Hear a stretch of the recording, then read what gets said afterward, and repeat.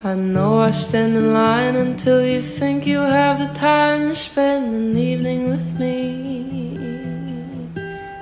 And if we go someplace to dance, I know that there's a chance you won't be leaving with me.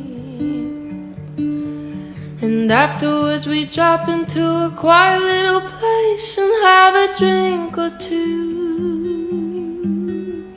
And then I go and spoil it all by saying something.